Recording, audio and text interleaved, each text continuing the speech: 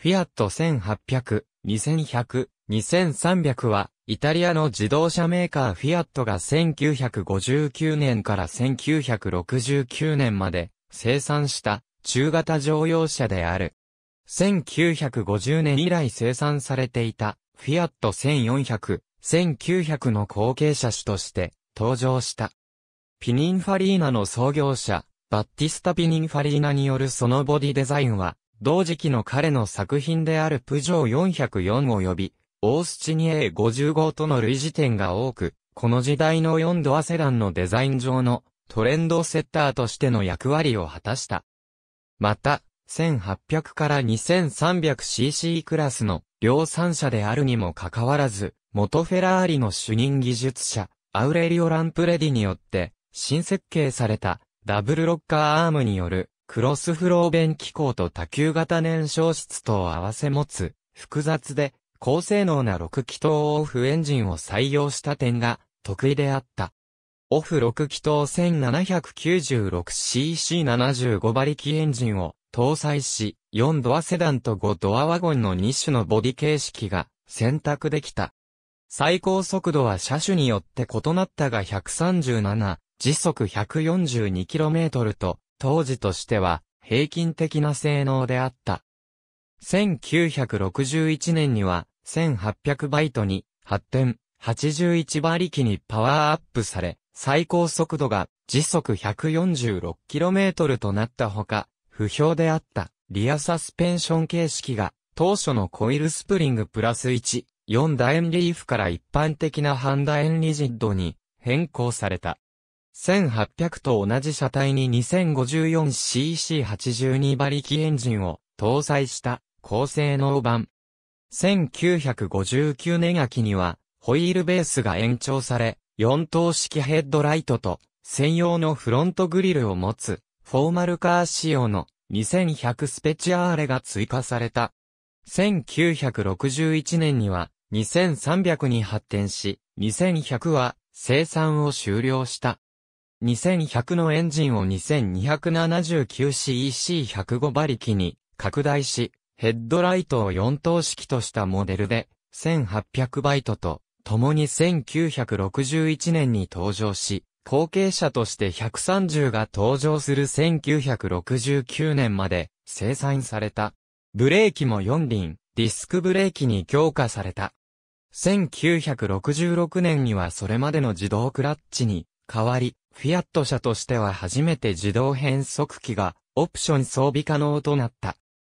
カーグラフィックス1963年5月号に掲載された小林翔太郎による2300の試乗機では0から400メートル加速18.3秒を記録し、スポーツカー用行性能ユニットのようにスムーズに回転が上がるエンジンの驚異的な高性能ぶりと、スムーズで静粛なこと、異例に完備した、室内装備が称賛された一方、乗り心地は相当硬い、ダッシュボードはいささか旧式な米車流に装飾的で、ありすぎる、位置が高く非常に体型なステアリングホイールなど、発売以来4年以上経過したことによる、球体化も指摘されている。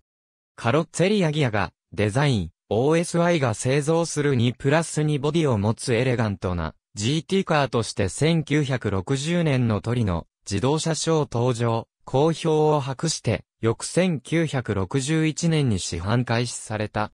当時まだイタリア車では珍しかったパワーウィンドウなどの豪華装備を持ち、プアマンズフェラーリと称された。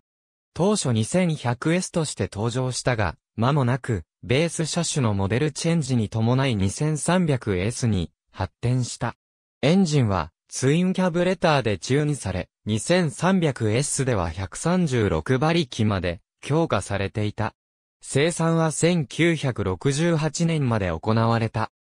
フィアット1500リットル1800、2100の大きな車体に1クラス下の1500の4気筒1481、CC72 馬力エンジンを搭載した廉価版で、L はロングを意味するイタリア語ルンガの略である。内外装を簡素化してあり、主にタクシー用に用いられた。1964年以降は75馬力に強化された。なお、このモデルは60馬力の低圧縮比版も生産されたが、これは低オクタン燃料が用いられた南ヨーロッパで人気があり、スペインでは提携先のセアトで、セアト1500として1972年までに20万台近くが生産された。発表当時の1800、2100は自流に即したデザインで軽量なボディ、コイルスプリングを用いた進歩的なリアサスペンション、小排気量6気筒エンジン、アメリカ的な室内デザインなどから、トヨペットクラウン、日産、セドリック、プリンススカイライン等の、まだ完成度が低かった1950年代末期の日本製中型車が目指すべきベンチマークとして注目され、技術評論家、星野義雄のベストセラー、マイカーや自動車評論家、小林翔太郎が当時、モーターマガジン誌に寄稿した評論などにもしばしば言及されている。1960年代初めには、新三菱重工業が1800のノックダウン生産を計画したほどであった。実車は、当時のフィアット日本総代理店であった日本自動車、西欧自動車を通じて輸入され、1963年、当時の価格は1800バイトが170万円、2300が215万円と当時の日本製、中型車の2倍前後だったが、輸入車としては、比較的手頃であった。また、2300S クーペも西欧自動車によって、比較的多くの台数が輸入された。なお、当時の1800のオーナーには、声楽家の五十嵐清も含まれていた。ありがとうございます。